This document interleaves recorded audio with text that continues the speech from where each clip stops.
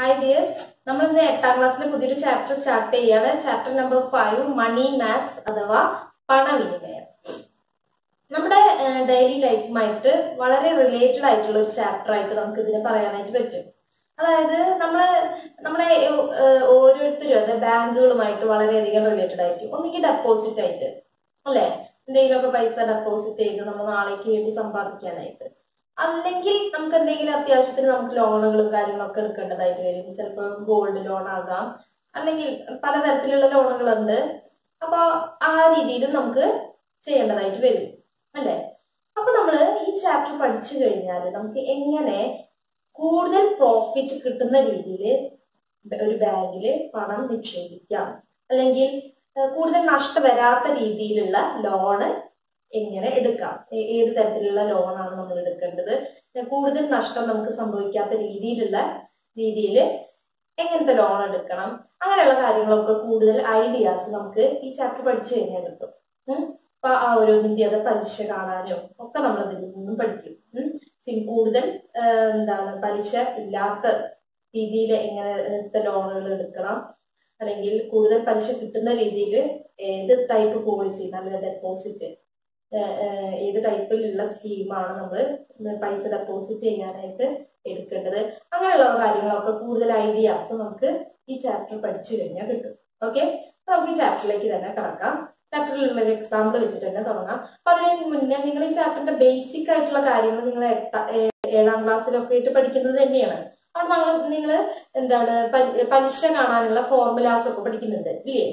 അപ്പൊ അതിലെങ്ങനെയായിരുന്നു? പലിശ കാണാൻ എന്ന് പറയുമ്പോ I is equal to P N R എന്ന് പറഞ്ഞിട്ടുള്ള ഒരു ഫോർമുലയൊക്കെ നിന്ന് പഠിക്കുന്നുണ്ട് അല്ലേ അവിടെ എന്തായിരുന്നു പി എന്ന് പറയുന്നത്? പി എന്ന് പറയുന്നത് പ്രിൻസിപ്പൽ എമൗണ്ട് ആയിരുന്നു. അതായത് നമ്മൾ പ്രിൻസിപ്പൽ എമൗണ്ട് എന്ന് പറയുമ്പോൾ നമ്മൾ എന്താണ് ഡെപ്പോസിറ്റ് ചെയ്യുന്ന തുക അല്ലെ? നമ്മൾ ഡെപ്പോസിറ്റ് ചെയ്യുന്ന തുകയെ അല്ലെങ്കിൽ നമ്മൾ എടുക്കുന്ന ലോണ് ലോൺ ആണെങ്കിൽ ലോണ് നമ്മൾ എത്ര രൂപയാണ് എടുക്കുന്നത്? അതാണ് നമ്മൾ പി ആയിട്ട് നമ്മൾ എടുക്കാറുള്ളത് എൻ എന്ന് പറയുന്നതോ നമ്പർ ഓഫ് ഇയേഴ്സ് അല്ലെ? എത്ര വർഷം? എത്ര വർഷത്തേക്കാണ് നമ്മൾ ഡെപ്പോസിറ്റ് ചെയ്യുന്നത്? അല്ലെങ്കിൽ എത്ര വർഷത്തേക്കുള്ള ലോണാണ് അങ്ങനെയുള്ളത്. അതാണ് എൻ കൊണ്ട് ഉദ്ദേശിക്കുന്നത്. ഇനി ആർ എന്താണ് ഉദ്ദേശിക്കുന്നത്? Rate of interest rate of interest rate of interest എന്ന് പറയുന്നത് എത്ര ശതമാനം പലിശ? അതിനാണ് നമ്മൾ എടുക്കുന്നത്. ഇതൊക്കെയാണ് നമ്മൾ I is equal to I എന്ന് പറഞ്ഞാൽ എന്താണ് ഇൻട്രസ്റ്റ് എത്രയാണ് പലിശ? ഈ ഫോർമുല വെച്ചിട്ടൊക്കെയാണ് നമ്മൾ ചെയ്തിട്ടുണ്ടായിരുന്നത്. വേണമെങ്കിൽ നമുക്കൊന്ന് പുതുക്കാനായിട്ട് ഞാൻ വെറുതെ ഒരു എക്സാമ്പിൾ വേണമെങ്കിൽ പറയാം. അതായത് നമ്മളിപ്പോ ഒരു ഒരാൾ ഒരു പതിനായിരം രൂപ പതിനായിരം രൂപ ഡെപ്പോസിറ്റ് ചെയ്യാണ് ബാങ്കിൽ അതിന്റെ റേറ്റ് ഓഫ് ഇൻട്രസ്റ്റ് നാല് ശതമാനമാണ് റേറ്റ് ഓഫ് ഇൻട്രസ്റ്റ് അല്ലെ? പിന്നെ നമ്പർ ഓഫ് ഇയേഴ്സ് ഒരു അഞ്ച് വർഷത്തേക്കാണ് അയാൾ ഡെപ്പോസിറ്റ് ചെയ്യുന്നത്. അപ്പൊ അത് നമ്പർ ഓഫ് ഇയേഴ്സ് അപ്പൊ നമുക്ക് I C equal to P R അപ്പൊ അങ്ങനെയാണെങ്കിൽ ഇതിന് അയാൾക്ക് എത്ര പലിശ കിട്ടും എന്നാണ് ചോദ്യമെങ്കിൽ അഞ്ചു വർഷം കൊണ്ട് എത്ര പലിശ ഈ പതിനായിരം രൂപയ്ക്ക് അയാൾക്ക് കിട്ടും? എന്നറിയാൻ വേണ്ടി എന്ത് ചെയ്താൽ മതി? I C equal to P into R അല്ലെ? പി എന്ന് പറയുന്നത് എന്താണ്? ടെൻ തൗസൻഡ് ഇന്റു എൻ എന്ന് പറയുന്നത് എത്രയാണ്? നമ്പർ ഓഫ് ഇയേഴ്സ് എത്ര വർഷത്തേക്കാണ് ഡെപ്പോസിറ്റ് ചെയ്തത്? അഞ്ച് വർഷത്തേക്ക്. ആർ എന്ന് പറയുന്നത് എന്താ? Rate of interest four by hundred അല്ലെ? Zero zero zero zero cancel ചെയ്യാം. ഹൺഡ്രഡ് ഉണ്ട്. Hundred into five into four ആണ്. ഫൈവ് ഇന്റു ഫോർ എന്ന് പറഞ്ഞാൽ ട്വന്റി ആണ്. ട്വന്റി ഇന്റു ഹൺഡ്രഡ് എന്ന് പറയുമ്പോൾ രണ്ട് പൂജ്യം കൂടി ഇടണം അപ്പൊ ടു തൗസൻഡ് റുപ്പീസ് ആണ് ഇവിടുത്തെ ഇൻട്രസ്റ്റ് അപ്പൊ അയാൾക്ക് അഞ്ചു വർഷം കൂടി കഴിഞ്ഞാൽ എത്ര രൂപ പലിശ കിട്ടും? രണ്ടായിരം രൂപ കിട്ടും. അപ്പൊ മൊത്തം അയാൾക്ക് എത്ര രൂപ കിട്ടും? ആദ്യം ഡെപ്പോസിറ്റ് ചെയ്ത പൈസ പ്ലസ് ഈ രണ്ടായിരം രൂപ. അങ്ങനെയല്ലേ അയാൾക്ക് കിട്ടുക? അഞ്ചു വർഷം കഴിഞ്ഞാൽ ആദ്യം ഡെപ്പോസിറ്റ് ചെയ്തത് എത്രയാണ്? പതിനായിരം. പതിനായിരം അതിന്റെ കൂടെ ഈ രണ്ടായിരം കൂടി കിട്ടും പലിശയായിട്ട്. അപ്പൊ മൊത്തം അയാൾക്ക് പന്ത്രണ്ടായിരം രൂപയാണ് ഈ ഒരു സ്കീമിൽ നിന്ന് കിട്ടുന്നത് പന്ത്രണ്ടായിരം രൂപ. ഓക്കെ കിട്ടിയല്ലോ? അപ്പൊ ഈ രീതിയിലുള്ള പ്രോബ്ലംസ് ആണ് നമ്മൾ അവിടെ പഠിച്ചിട്ടുണ്ടായിരുന്നത്. ഇതേപോലെ ലോൺ എടുക്കുമ്പോഴും അതെ ആ ലോൺ എടുത്ത തുകയാണ് അപ്പൊ നമ്മൾ ഇവിടെ പി ആയിട്ട് എടുക്കുക. എന്ന് പറയുന്നത് number of years rate of interest R okay അത് നമ്മൾ ബൈ ഹൺഡ്രഡ് എന്നുള്ള രീതിയിലുണ്ട്. ഫോർ പെർസെന്റേജ് ഒക്കെ നമുക്ക് തരിക. അപ്പൊ നമ്മൾ എന്ത് ചെയ്യും? Four by hundred twelve percentage എന്ന് പറയുമ്പോൾ ട്വൽവ് ബൈ ഹൺഡ്രഡ് അങ്ങനെ വേണം എടുക്കാനായിട്ട്. പല ചില സമയത്ത് നമ്പർ ഓഫ് ഇയേഴ്സ് ആറ് മാസത്തേക്ക് അങ്ങനെയൊക്കെ ആയിരിക്കും. അപ്പൊ നമ്മൾ എന്ത് ചെയ്യേണ്ടതായിട്ട് വരും? ആ മാസത്തിനെ ഇയറിന്റെ കണക്കിലേക്ക് മാറ്റേണ്ടതായിട്ട് വരും. ഓക്കെ അപ്പൊ ആറ് മാസം എന്ന് പറയുമ്പോൾ നമ്മൾ എന്ത് ചെയ്യേണ്ടതായിട്ട് വരും? എൻ ഇസ് ഈക്വൽ ടു ആറ് മന്ത് ആണെങ്കിൽ ആറ് നമ്മൾ എന്ത് ചെയ്യണം? എൻ എന്ന് പറയുന്നതിനെ മാറ്റിയിട്ട് ഇയറിലേക്ക് മാറ്റണം. അപ്പൊ ഒരു ഇയർ എന്ന് പറഞ്ഞാൽ എത്ര മാസമാണ്? പന്ത്രണ്ട് മാസമാണ് അല്ലെ അപ്പൊ നമ്മൾ എൻ എന്ന് പറയുന്നത് സിക്സ് ബൈ ട്വൽവ് എടുക്കണം. പന്ത്രണ്ടിൽ ആറെണ്ണല്ലേ നമ്മൾ എടുക്കുന്നുള്ളൂ. പന്ത്രണ്ട് മാസമാണ് ഒരു വർഷം എന്ന് പറയുന്നത്. അപ്പൊ പന്ത്രണ്ടിൽ ആറ് മാസം നമ്മൾ കൺസിഡർ ചെയ്യുന്നു. അപ്പൊ സിക്സ് ബൈ ട്വൽവ് എന്ന് പറഞ്ഞിട്ട് എടുക്കേണ്ടതായിട്ട് സിക്സ് ബൈ ട്വൽവ് എത്രയാണ്? വൺ ബൈ ടു അല്ലെ?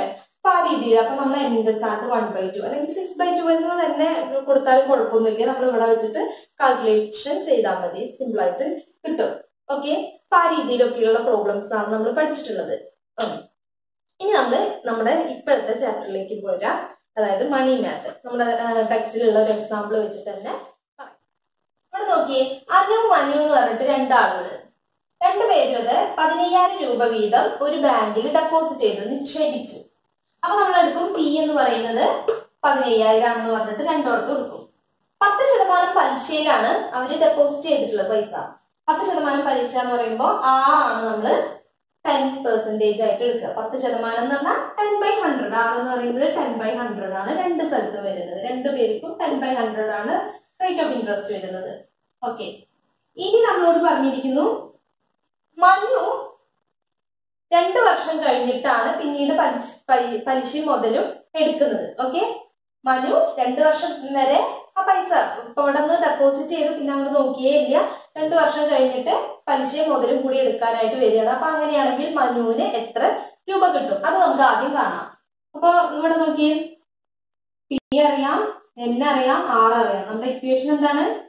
ഇൻട്രസ്റ്റ് കാണാനുള്ള equation I C equal to P into N into R അല്ലെ? പി എന്ന് പറയുന്നത് എന്താണ്? പ്രിൻസിപ്പൽ എമൗണ്ട് ഫിഫ്റ്റീൻ തൗസൻഡ് ആണ്. ഇത് രണ്ട് വർഷത്തേക്കുള്ള പലിശയാണ് നമ്മൾ കാണുന്നത് അല്ലെ? എൻ എന്ന് പറയുന്നത് എത്രയാണ്? ടു ആർ എത്രയാണ്? ടെൻ ബൈ ഹൺഡ്രഡ് ഓക്കെ രണ്ട് പൂജ്യം ഉണ്ട്. രണ്ട് പൂജ്യം തമ്മിൽ ക്യാൻസൽ ചെയ്യാൻ പറ്റും. ബാക്കി one fifty into two into ten one fifty into two എത്രയാണ്? Three hundred three hundred into ten എത്രയാണ്? ത്രീ തൗസൻഡ് അപ്പൊ ത്രീ തൗസൻഡ് റുപ്പീസ് ആണ് മനുവിന് കിട്ടിയ പലിശ. അപ്പൊ മനുവിന് മൊത്തം എത്ര എമൗണ്ട് കിട്ടി? മൊത്തം എത്ര എമൗണ്ട് മുതലും പലിശയും കൂടിയിട്ട് ചേർത്തിട്ട് എത്ര എമൗണ്ട് കിട്ടി? അത് നമുക്ക് എ എന്ന് റെപ്രസെന്റ് ചെയ്യാം. എമൗണ്ട് എന്നുള്ളത് എ എന്ന് റെപ്രസെന്റ് ചെയ്തു. മൊത്തം എത്ര പൈസ? മനുവിന് തിരിച്ചു കിട്ടി എന്നാണ് നമ്മൾ നോക്കുന്നത്. ആദ്യം എത്ര പലിശ പൈസ കിട്ടുണ്ടായിരുന്നത്? പതിനയ്യായിരം. അതിന്റെ കൂടെ ഈ പലിശയും കൂടി കിട്ടുന്നുണ്ട്.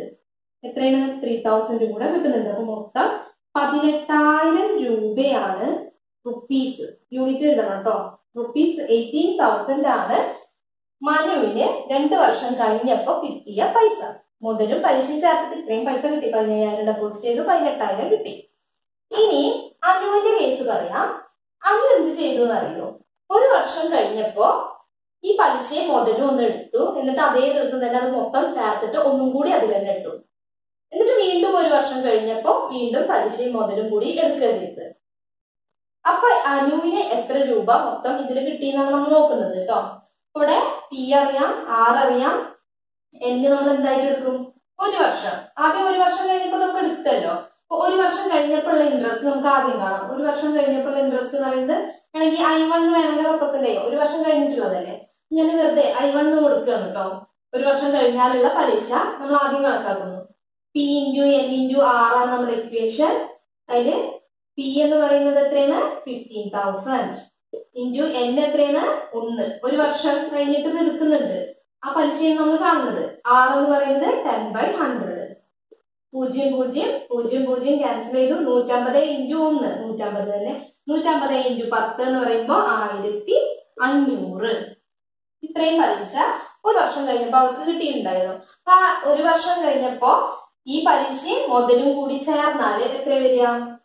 എമൗണ്ട് എന്ന് പറയുന്നത് fifteen thousand plus one thousand five hundred ഇപ്പൊ ഒരു വർഷം കഴിഞ്ഞപ്പോ അവൾ ഈ മുതലും പലിശയും ഒന്നും എടുത്തു. എന്നിട്ട് വീണ്ടും അവിടെ അതിൽ തന്നെ അപ്പൊ തന്നെ ഇടുക ചെയ്തത്. അപ്പൊ ഇവിടെ എമൗണ്ട് എന്ന് പറയുന്നത് എത്ര വരും? സിക്സ്റ്റീൻ തൗസൻഡ് ഫൈവ് ഹൺഡ്രഡ് കിട്ടി അല്ലെ? Sixteen thousand five hundred rupees ആണ് ഒരു വർഷം കഴിഞ്ഞപ്പോ എടുത്തത്. എടുത്തപ്പോ അവർക്ക് കിട്ടിയത് എന്നിട്ട് അവൻ എന്ത് ചെയ്തു? ഈ പൈസ അതേപോലെ വീണ്ടും അത് തന്നെ അപ്പൊ തന്നെ ഇട്ടു. അതേ ദിവസം തന്നെ അപ്പൊ തന്നെ ഇട്ടു. അപ്പൊ നമുക്ക് ഈ പൈസ മൊത്തം അവളുടെ രണ്ടാമത്തെ പി ആയിട്ട് വരും അല്ലെ അത് മൊത്തം ഒരു വർഷം കഴിഞ്ഞപ്പോ ഇത് ഇത്രയും പൈസ അവൾക്ക് കിട്ടി. അത് അപ്പൊ തന്നെ അതിൽ തന്നെ ഇടുക എന്ന് പറയുമ്പോ നമ്മൾ ഡെപ്പോസിറ്റ് ഡെപ്പോസിറ്റ് ചെയ്യുന്ന തുക one sixteen thousand five hundred ആയിട്ട് മാറി. അപ്പൊ അപ്പോഴത്തെ പി എന്ന് പറയുന്നത് ഫിഫ്റ്റീൻ തൗസൻഡ് ഫൈവ് ഹൺഡ്രഡ് ആണ്. പിന്നെ നമ്മൾ ഒരു വർഷം കൂടി കഴിഞ്ഞാൽ എത്ര പലിശയും മുതലും കിട്ടും എന്നാണ് നമ്മൾ നോക്കുന്നത്. ഒരു വർഷം കൂടി കഴിഞ്ഞാൽ എന്ന് പറയുമ്പോൾ എൻ നമ്മൾ ഒന്നായിട്ട് എടുക്കും. ആർ എന്ന് പറയുന്നത് എത്രയായിട്ട് എടുക്കും? ടെൻ ബൈ ഹൺഡ്രഡ് തന്നെയാണ് പലിശ വരുന്നത്. അപ്പൊ വീണ്ടും നമ്മൾ ഒരു വർഷം കൂടി കഴിഞ്ഞാലുള്ള ഇൻട്രസ്റ്റ് അത് വേണമെങ്കിൽ നമുക്ക് ഐ ടു എന്ന് റെപ്രസെന്റ് ചെയ്യാം അല്ലെ? ആദ്യം നമ്മൾ ഒരു വർഷത്തെ ഇൻട്രസ്റ്റ് നോക്കി ഇത് രണ്ടാമത്തെ വർഷത്തെ ഇൻട്രസ്റ്റ് അപ്പൊ അത് ചെയ്യുമ്പോൾ P into N into R ആണ് നമ്മുടെ equation sixteen thousand five hundred into എത്രയാണ്? ഒന്നാണ്. ആർ എത്രയാണ്? ടെൻ ബൈ ഹൺഡ്രഡ് പൂജ്യം പൂജ്യം പൂജ്യം പൂജ്യം. ക്യാൻസൽ ചെയ്തു. One hundred and sixty five into ten എത്രയാണ്? One sixty five zero one thousand six hundred and fifty കിട്ടും. ഇത് ഇതാണ് രണ്ട് വർഷം ആയപ്പോ കിട്ടിയ പലിശ. അപ്പൊ വീണ്ടും രണ്ടാമത്തെ വർഷം കിട്ടിയ പലിശ ചെയ്യുന്നത് അപ്പൊ വീണ്ടും പലിശയും മുതലും കൂടി ചേരുമ്പോ എത്ര രൂപ കിട്ടും? പലിശയും മുതലും കൂടി ചേരുമ്പോ എന്ന് പറയുമ്പോ പലിശ നമ്മൾ മുതൽ എത്രയാണ്? സിക്സ്റ്റീൻ തൗസൻഡ് ഫൈവ് ഹൺഡ്രഡ് ആണ്. Sixteen thousand five hundred plus പലിശ എത്രയാണ്? One thousand six hundred and fifty ഇത് രണ്ടും കൂടി ആഡ് ചെയ്യുമ്പോ എത്ര കിട്ടുക? Zero five eleven balance one eight one eighteen thousand one hundred and fifty rupees ആണ് ഇവിടെ കിട്ടിയത്. അപ്പൊ നമുക്ക് എന്താ ഇവിടെ എത്രയാണ്? എയ്റ്റീൻ തൗസൻഡ് ആണ് രണ്ടു വർഷം കിട്ടിയപ്പോ മനുവിന് കിട്ടിയത്. രണ്ടു വർഷം കഴിഞ്ഞപ്പോ മനുവിന് കിട്ടിയത് എയ്റ്റീൻ തൗസൻഡ് ആണ്. എന്നാൽ അനുവിന് രണ്ടു വർഷം കഴിഞ്ഞപ്പോ കിട്ടിയത് eighteen thousand one hundred and fifty ഒരേ തുകയാണ് ഒരേ ഇൻട്രസ്റ്റിലാണ് രണ്ടാളും കിട്ടിട്ടുണ്ടായിരുന്നത്. രണ്ടു വർഷം കഴിഞ്ഞപ്പോഴുള്ള മൊത്തം തുകയാണ് നമ്മൾ കണക്കാക്കിയത്. ഒരാൾ എന്ത് ചെയ്തു? ഒരു ഡെപ്പോസിറ്റ് ചെയ്തു പൈസ ഡെപ്പോസിറ്റ് ചെയ്ത് പിന്നെ നോക്കിയിട്ട് രണ്ടു വർഷം കഴിഞ്ഞപ്പോൾ മുതലും പലിശ എടുക്കാമെന്നോ അപ്പൊ ആൾക്ക് പതിനെട്ടായിരം രൂപ കിട്ടി. ഇവിടെ അനു എന്താ ചെയ്തത്? ഒരു വർഷം കഴിഞ്ഞപ്പോ അതൊന്ന് പുതുക്കിയിട്ടു. അല്ലേ പലിശയും മുതലും കൂടിയിട്ട് ഒന്ന് വാങ്ങി. എന്നിട്ട് അത് അതിൽ തന്നെ ഒന്നും കൂടി രണ്ടാമത്തെ വർഷം വീണ്ടും വന്നിട്ട് എടുക്കുക ചെയ്തത്. അപ്പൊ അനുവിന് എത്ര കിട്ടി? പതിനെട്ടായിരത്തി ഒരുന്നൂറ്റി അമ്പത് കിട്ടിയത് അപ്പൊ അവിടെ ആർക്കാ കൂടുതൽ പ്രോഫിറ്റ് കിട്ടിയത്? അനുവിനാണ് കൂടുതൽ പ്രോഫിറ്റ് ചെയ്തത് കിട്ടിയത്. അപ്പൊ ഈ രീതിയിൽ ചെയ്യുന്നതിന് നമ്മളൊരു പേര് കൂടെ പറയും. ഇൻട്രസ്റ്റ് കാണുന്നതിന് നമ്മളൊരു പേരും കൂടെ പറയാറുണ്ട്. എന്താണത്? Compound interest compound compound interest എന്ന് പറയും. ഇതേപോലെ ഓരോ വർഷം കഴിയുമ്പോൾ നമ്മൾ ഇതേപോലെ പുതുക്കിയിട്ട് അങ്ങനെ പലിശ കണക്കാക്കുന്നതിന് നമ്മൾ ഒരു പേര് പറയും. ഇങ്ങനെ കണക്കാക്കുന്ന പലിശയ്ക്ക് പറയുന്ന പേരാണ് കോമ്പൗണ്ട് ഇൻട്രസ്റ്റ് ഇതോ ഇത് സാധാരണ പലിശയാണ്. ഇതിനെ മലയാളത്തിൽ എന്ത് പറയും? കൂട്ടുപലിശ എന്ന് പറയും. കോമ്പൗണ്ട് ഇൻട്രസ്റ്റ് അഥവാ കൂട്ടുപലിശ. ഇതെന്താ ചെയ്തത്? നമ്മൾ ഒരു പൈസ എത്രയോ നമ്മളൊരു കുറച്ച് പൈസ ഡെപ്പോസിറ്റ് ചെയ്തു. പിന്നെ നമ്മൾ അതിലേക്കൊന്നും നോക്കാതെ കണ്ടിട്ട് എത്രയോ വർഷത്തേക്ക് ഒന്നിച്ചാണ് ഇടുക ചെയ്യുന്നത് പിന്നെ ആ അത്രയും വർഷം കഴിഞ്ഞിട്ടാണ് അത് എടുക്കുന്നത്. അത്തരത്തിൽ പലിശ കാണുന്നതിന് നമ്മളൊരു പേര് പറയും. അതാണ് സിമ്പിൾ ഇൻട്രസ്റ്റ് സിമ്പിൾ ഇൻട്രസ്റ്റ് അഥവാ സാധാരണ പലിശ. ഓക്കെ അപ്പൊ ഇങ്ങനെ ഡെപ്പോസിറ്റ് ചെയ്യുന്നതിൽ കൂടുതൽ പ്രോഫിറ്റ് എങ്ങനെ ചെയ്യുമ്പോഴാണ് കിട്ടുന്നത്? കോമ്പൗണ്ട് ഇൻട്രസ്റ്റ് ആ സ്കീമിലൂടെ നമ്മൾ ഇടുകയാണെങ്കിലാണ് കൂടുതൽ പ്രോഫിറ്റ് കിട്ടുന്നത്. നയന്റിയിലെ ഫസ്റ്റ് പ്രോബ്ലം ആണ് കേട്ടോ പറയുന്നത്. Sandeep deposited 25,000 rupees in a bank which pays 8% interest compounded annually. എന്താ പറഞ്ഞിട്ടുള്ളത്? സന്ദീപ് എന്ന് പറഞ്ഞിട്ടുള്ള ഒരാൾ ഇരുപത്തി അയ്യായിരം രൂപ ഒരു ബാങ്കിൽ ഡെപ്പോസിറ്റ് ചെയ്തു. ഇരുപത്തി അയ്യായിരം രൂപ ഡെപ്പോസിറ്റ് ചെയ്തു എന്ന് പറഞ്ഞാൽ നമ്മൾ പി ആയിട്ട് എടുക്കുന്നത് ട്വന്റി ഫൈവ് തൗസൻഡ് ആണ്. ഇനി എന്താ പറഞ്ഞിട്ടുള്ളത്? എയ്റ്റ് പെർസെന്റേജ് ഇൻട്രസ്റ്റിലാണ് അത് ഡെപ്പോസിറ്റ് ചെയ്തത് എന്നും പറഞ്ഞിട്ടുണ്ട്. കോമ്പൗണ്ടഡ് ആനുവലി എന്നും പറഞ്ഞിട്ടുണ്ട്. കോമ്പൗണ്ടഡ് ആനുവലി എന്ന് പറയുമ്പോൾ അതിന്റെ അർത്ഥം എന്താണ്? കൂട്ടുപലിശ നിരക്കിലാണ്. കൂട്ടുപലിശ. ആ രീതിയിലാണ് അവർ അങ്ങനത്തെ സ്കീമിലാണ് പൈസ ഡെപ്പോസിറ്റ് ചെയ്തിട്ടുള്ളത്. ഓക്കെ അപ്പൊ ഇവിടെ റേറ്റ് ഓഫ് ഇൻട്രസ്റ്റ് എത്രയാണ്? എയ്റ്റ് പെർസെന്റേജ് ആണ് പറഞ്ഞിട്ടുണ്ട്. അതായത് എയ്റ്റ് ബൈ ഹൺഡ്രഡ് ആണ് ആറ്. ഇനി എന്താ പറഞ്ഞിട്ടുള്ളത്? കോമ്പൗണ്ടഡ് ആനുവലി എന്ന് പറഞ്ഞിട്ടുണ്ട്. അത് ശ്രദ്ധിക്കണം.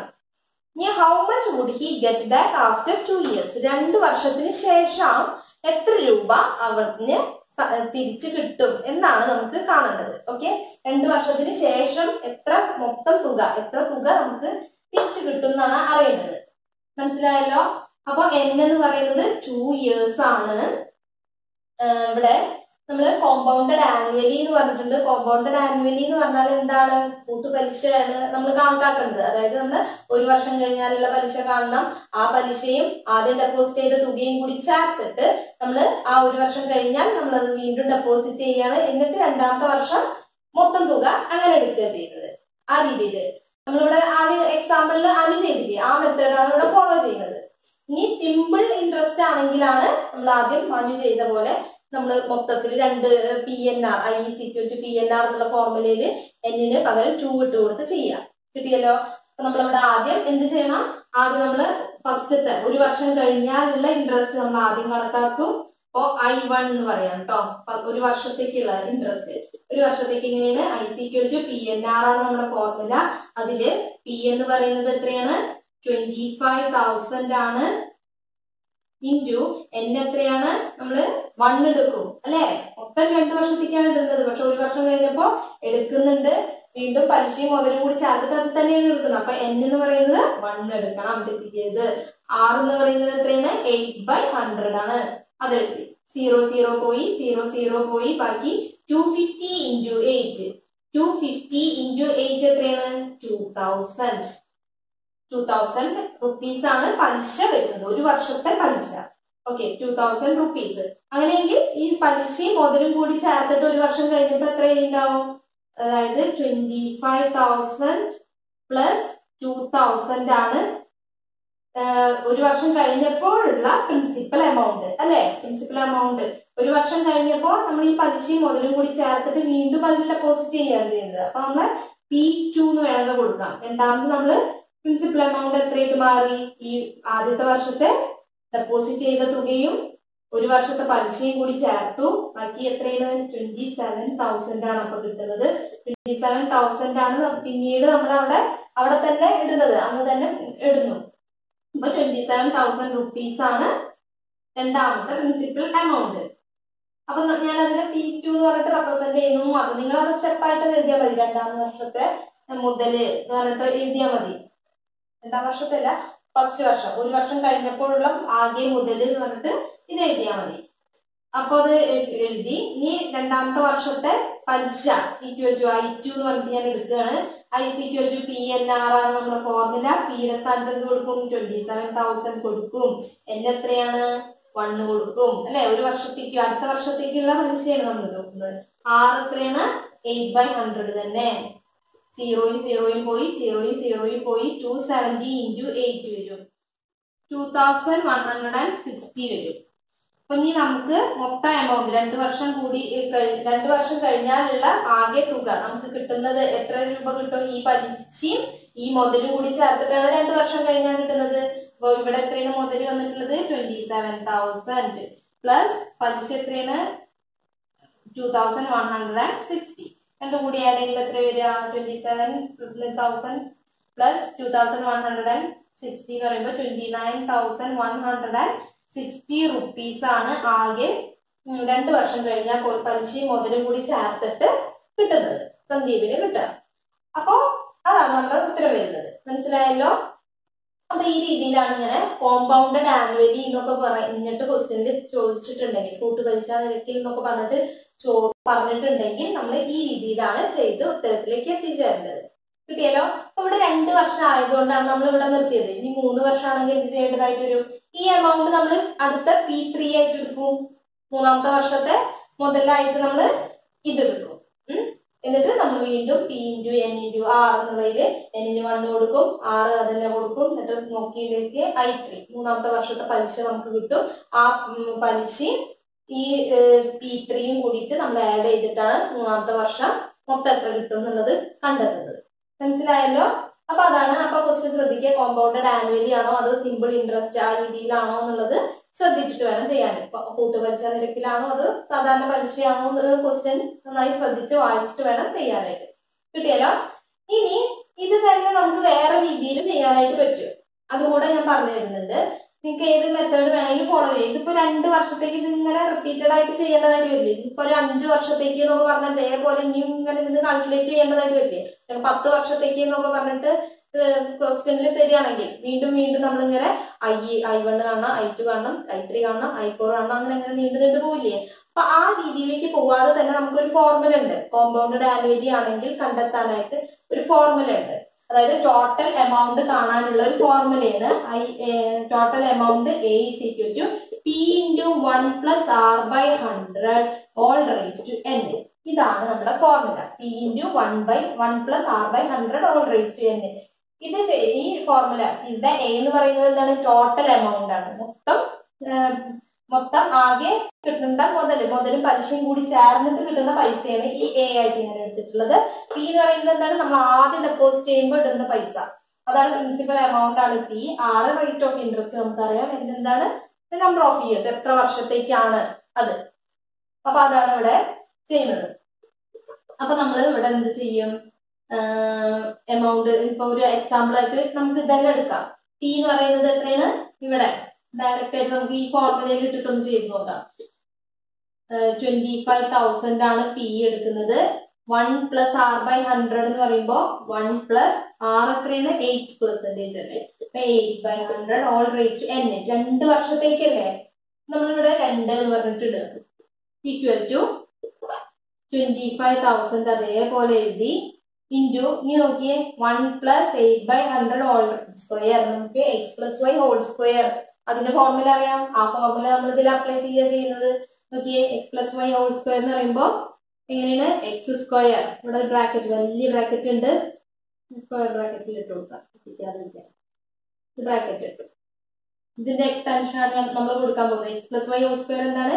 X square plus two into X into Y plus Y square Y square എന്ന് പറയുമ്പോൾ ഇങ്ങനെ വരും അല്ലേ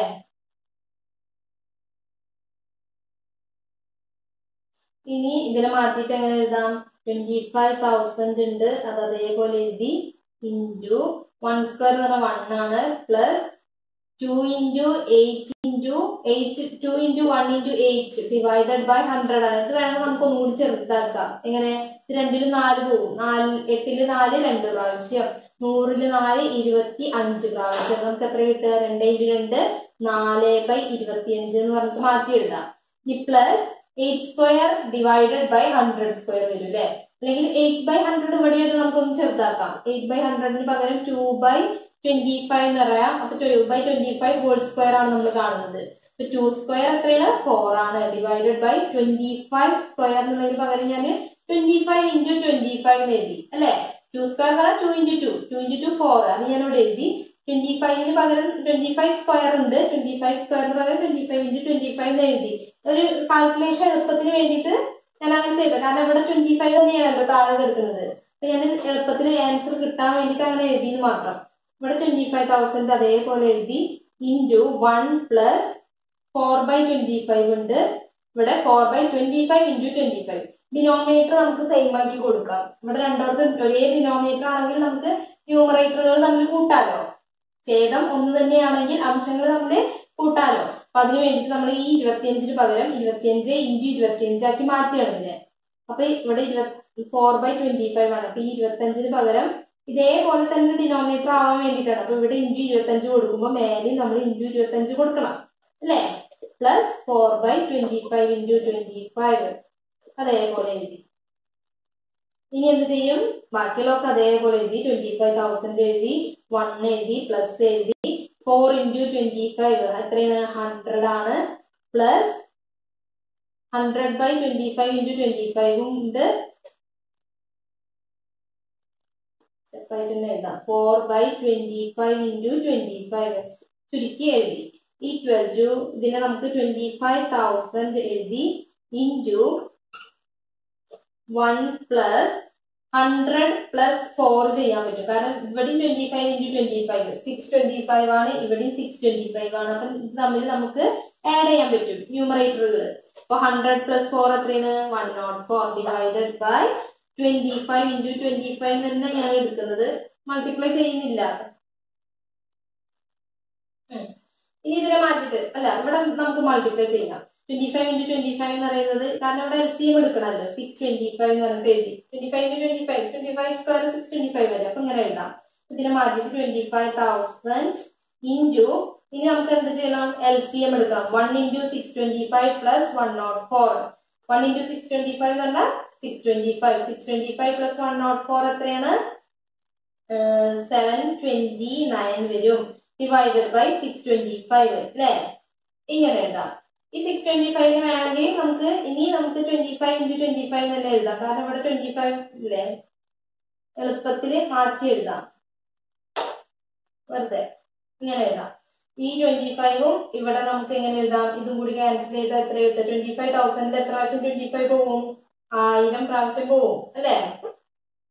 അറിയില്ല എങ്ങനെ ചെയ്താൽ മതി? ഈ ട്വന്റി ഫൈവ് തൗസൻഡ് എന്ന് പറഞ്ഞാൽ ട്വന്റി ഫൈവ് ഇന്റു തൗസൻഡ് ആണ്. ആ ട്വന്റി ഫൈവും ട്വന്റി ഫൈവും കൂടി ക്യാൻസൽ ചെയ്താൽ ബാക്കി ഇവിടെ തൗസൻഡ് ഉണ്ടാകുന്നത് അപ്പൊ thousand into seven twenty nine divided by twenty five വരും. തൗസൻഡ് ബൈ ട്വന്റി ഫൈവ് നമുക്ക് ഇനിയും ചെയ്യാം. എത്രയാ?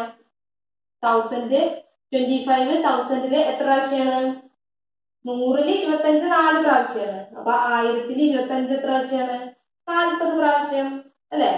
അപ്പൊ നാൽപ്പത് നാൽപ്പത് ഇന്റു എഴുന്നൂറ്റി ഇരുപത്തി ഒമ്പത് ചെയ്യാം. ഒരു ഒമ്പത് രണ്ടൊമ്പത് മൂന്ന് നാല് മുപ്പത്തി ആറ് മൂന്ന് നാല് രണ്ട് എട്ട് മൂന്നും പതിനൊന്ന് ബാക്കി ഒന്ന് ഏഴ് ഒരു നാല് ഏഴ് ഇരുപത്തെട്ട് ഇരുപത്തെട്ട് മൂന്നും ഇരുപത്തി ഒമ്പത് വരും. നാൽപ്പത് കൊണ്ടാണ് ഗുണിക്കുന്നത് പൂജ്യം. ഇരുപത്തി ഒമ്പതിനായിരത്തി ഒരുന്നൂറ്റി അറുപത്. അത് തന്നെയല്ലേ എവിടെയും കിട്ടിയത്? അപ്പൊ ഈ രീതിയിൽ ചെയ്യണമെങ്കിൽ ഇങ്ങനെയും ചെയ്യാം. പ്രശ്നമൊന്നുമില്ല. ഇരുപത്തി ഒമ്പത് ഒരുന്നൂറ്റി അറുപത്. രണ്ട് മെത്തേഡിലൂടെ ചെയ്താലും? ഇവിടെ നമ്മൾ ഇങ്ങനെ മാറ്റി മാറ്റി മാറ്റി ഇട്ടിട്ട് വേണം ആൻസറിൽ എത്തിച്ചേരാനായിട്ട് ഇവിടെ നമ്മൾ ഒരൊറ്റ ഫോർമുലയിൽ തന്നെ അപ്ലൈ ചെയ്തിട്ട് വേണം ചെയ്യാനായിട്ട്. ഏത് രീതി മെത്തേഡ് ഉപയോഗിച്ച് കഴിഞ്ഞാലും പ്രശ്നമില്ല. നിങ്ങൾക്ക് ഏതാണോ സിമ്പിൾ ആയിട്ട് തോന്നുന്നത് ആ മെത്തേഡ് ഫോളോ ചെയ്യാം ഞാൻ രണ്ടും ഒന്ന് ജസ്റ്റ് പറഞ്ഞു മാത്രം. കിട്ടിയല്ലോ? അപ്പോ ഇവിടെ വെച്ച് നിർത്തുകയാണ്. ഇതിലെ ബാക്കി പ്രോബ്ലംസ് നമുക്ക് നെക്സ്റ്റ് ക്ലാസ്സിൽ ഡിസ്കസ് ചെയ്യാം. നിങ്ങൾക്ക് ക്ലാസ് മനസ്സിലായിട്ടുണ്ടെങ്കിൽ വീഡിയോ ലൈക്ക് ചെയ്യുക. നിങ്ങളുടെ ഫ്രണ്ട്സിനൊക്കെ ഷെയർ ചെയ്ത് കൊടുക്കുക. ചാനൽ സബ്സ്ക്രൈബ് ചെയ്തിട്ടില്ലെങ്കിൽ സബ്സ്ക്രൈബ് ചെയ്യാനും മറക്കരുത്. ഓക്കെ അപ്പോ ബാക്കി പ്രോബ്ലംസുമായിട്ട് നെക്സ്റ്റ് വീഡിയോയിൽ കാണാം. അതുവരേക്കും ബൈ